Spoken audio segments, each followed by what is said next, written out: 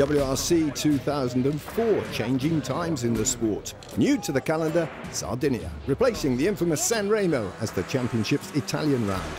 This was the 13th of 16 events in a season which witnessed the emergence of a new star. Victory here in the Citroen Xsara would take Sébastien Loeb a big step closer to his first World Drivers' Championship. Many more would follow. One driver had other ideas. Reigning champion Petter Solberg, who needed to win in Sardinia to keep the title race alive. The Subaru star would dominate the event from start to finish. Loeb, his nearest challenger. One mistake from either on the narrow, rugged tracks would prove costly. You surprised how fast Petter was going? He really was setting some good times again. No, because I, I don't try really to, to make any time. I just driving, so no, it's okay. Were you going a bit too quick this morning, do you think? No, no. Everything worked out very well. I just good confidence and feeling the car feels very good. Second stage I was, you know, very slow because it was very bad and my pace notes was not good. So, but it was really good fun. Very good. Good fun and a successful event for Solberg and co-driver Phil Mills, taking their fifth win of the season.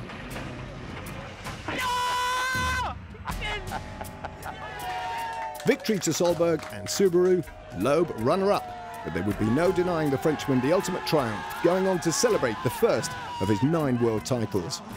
Completing that first Sardinia podium in 2004, Loeb's teammate Carlos Sainz approaching the end of a glittering career and helping Citroën to take the manufacturer's title. Also among the competitors in Sardinia that year, a familiar name, increasingly so these days, Rovanperä, as in Kalle's father, Harri, hitting a spot of bother in his Peugeot 307.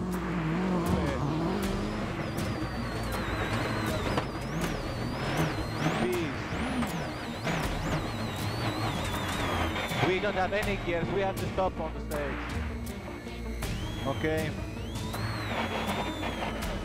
Gearbox broken in a few cases before that place and uh, first I lost, I think so second and, uh, and after that third gear is a This is uh, really broken now and his car is not moving. Enter Marcus Grönholm in the sister Peugeot, second behind Solberg, until his 307 went the same way.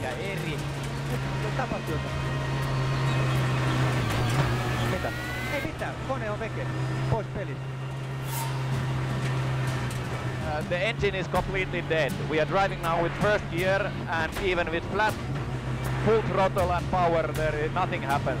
It's, uh, it, it goes very slowly.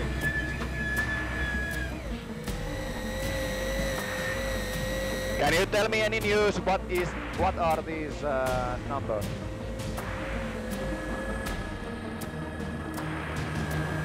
Täysöljynypystä 40 on mennyt, aivan helppoa.